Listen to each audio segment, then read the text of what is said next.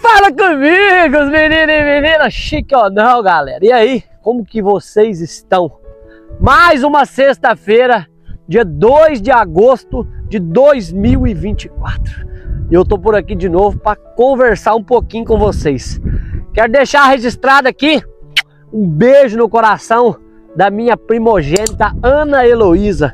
Agora no domingo, dia 4 de agosto, a minha primogênita completa seus oito aninhos. Papai vai deixar registrado aqui para te dizer o que você já sabe. O tanto que você foi desejada e o tanto que você é amada.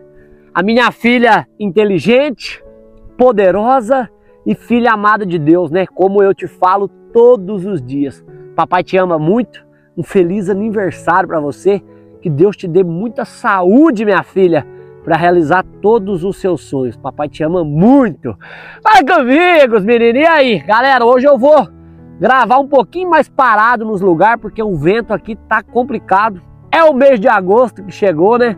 E junto com o mês de agosto chega o vento. Se o áudio não ficar nota 10, dá um desconto para nós e foca na mensagem. Hoje eu começo te perguntando o seguinte: você sabe quanto custa um sonho? E é sobre isso que eu quero falar. Vem comigo e vamos pro bate-papo.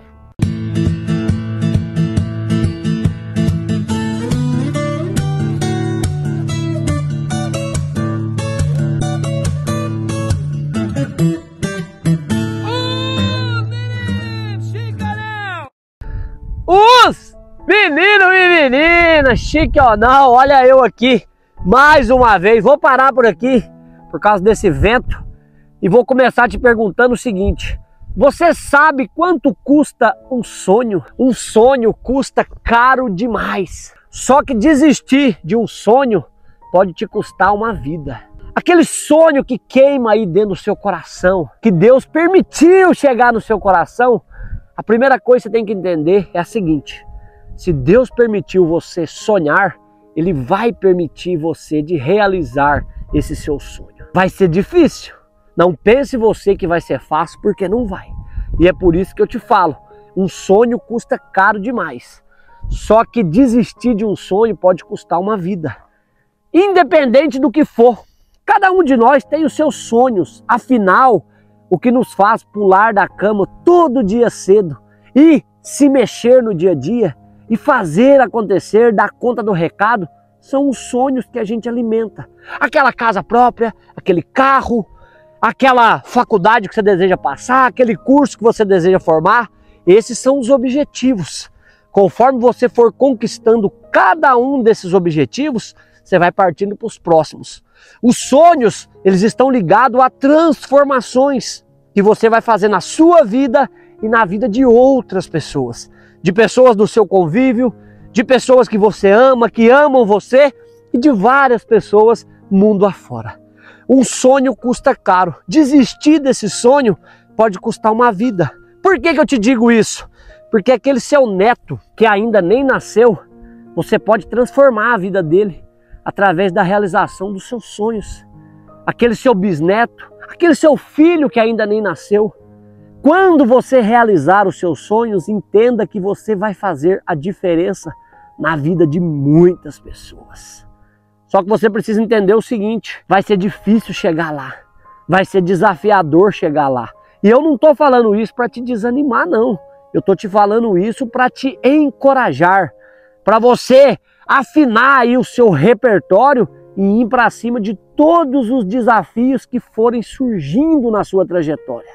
E entender que a cada degrau que você subir, você está um pouquinho mais alto. E quanto mais alto você chega, melhor é a vista.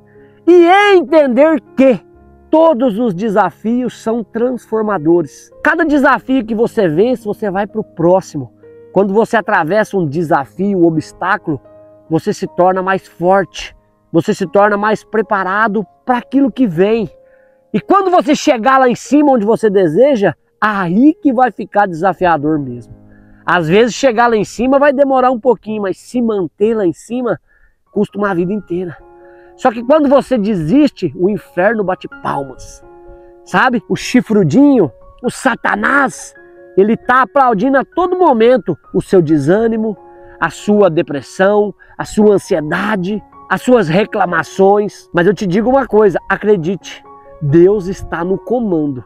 Quando você permitir e entregar os seus sonhos a Ele.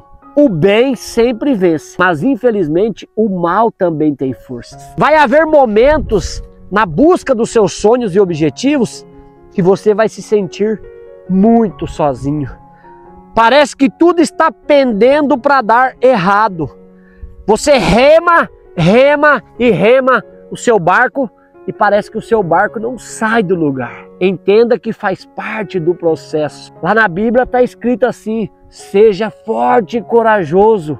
E é isso que você precisa: força e coragem. É você contra você todos os dias. A sua luta é com a sua mente. O seu cérebro vai tentar te sabotar a todo momento. Ah, tá muito difícil isso daí, deixa disso. Parte para o próximo que vai ser mais fácil. O mais fácil não existe. O plano B não existe. Faça o plano A virar realidade. Por muitos momentos você vai se sentir sozinho, cansado, desanimado, vai chorar muito sozinho. E é chorar mesmo, de pingar lágrima. É chorar a ponto de falar: eu não quero mais isso daqui. Mas entenda o seguinte: quando o cansaço chegar, descanse, organize os seus pensamentos e siga focado naquilo que você tem controle. Aquilo que é externo vai tentar te derrubar a todo momento, mas você não tem controle sobre aquilo que está externamente tentando te prejudicar. Gaste as suas energias com aquilo que você controla. Foca no seu objetivo e entenda que você vai ter que abrir mão de muitas coisas para fazer os seus sonhos virarem realidade. Você vai ter que abrir mão de muita gente durante a sua caminhada. Existem pessoas que não vão estar em sintonia com os seus sonhos, pessoas que vão te puxar para baixo, que vão dizer que isso não é para você, que você está sonhando alto demais. Essas pessoas não podem conviver com você. Ambiente, você vai ter que mudar de ambiente por algumas vezes, se você quiser prosperar, crescer, se desenvolver. Porque por muitas vezes o ambiente que você está ele te sufoca. Um dia eu ouvi uma frase que fala assim: é praticamente impossível você fazer sucesso no lugar onde você nasceu. A cada 50 pessoas que estão ali, uma ou duas te apoiam e te ajudam, o restante não. E eu posso te dizer que é a mais pura verdade. Você não vai conseguir ser grande e realizar os seus sonhos no lugar onde você nasceu. Raramente isso vai acontecer. Então, por algumas vezes, você terá que mudar de ambiente, terá que sair daquele ambiente que está te sufocando e passar para um ambiente que te deixe crescer, se desenvolver, um ambiente que faça você ser um profissional melhor a cada dia, que faça você ser uma pessoa melhor a cada dia. Você vai ter que abrir mão de muita coisa, de muito momento de prazer imediato. Você vai ter que abrir mão de finais de semana, você vai ter que abrir mão de muita festa. Você vai ser motivo de zombaria. As pessoas vão dizer que você é careta. Ah, larga de ser careta, cara. Vamos lá, é só um pouquinho.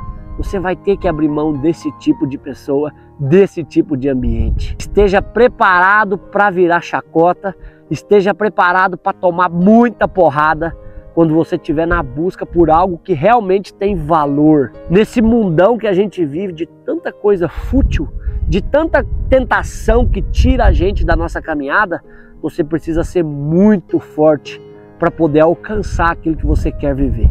A primeira coisa que você deve fazer é orar. Oração tem um poder, sabe, que a gente nem calcula. Quando você coloca o seu joelho no chão, você toca no céu. Pode ter certeza que a oração que sai daqui de dentro do coração, ela é atendida rapidamente por Deus. Entrega seus planos na mão de Deus e faça a sua parte. Em tudo que você colocar a sua mão, faça bem feito. O sucesso jamais vai conseguir virar as costas para uma pessoa que não desiste. Pode demorar um pouquinho, mas aquele poder do 1% melhor a cada dia, ele chega. Você vai botar um tijolinho na parede da sua vida todo dia. Quando você vê, essa parede está gigante essa parede cresceu, essa parede está forte. É um pouquinho a cada dia. No dia que você estiver animado, motivado, coloca pressão, vai lá e faça. O dia que você estiver desanimado, triste, depressivo, ansioso, com vontade de desistir, coloca pressão e faça. Quando ficar mais difícil, faça mais. Ah, estou desanimado, está muito difícil, faça mais. Eu estou remando, remando, remando meu barco, parece que ele não sai do lugar, rema mais. Eu estou orando, eu estou orando e as coisas não acontecem, ore mais. O bem sempre vence, mas o mal às vezes vai tentar te atrapalhar.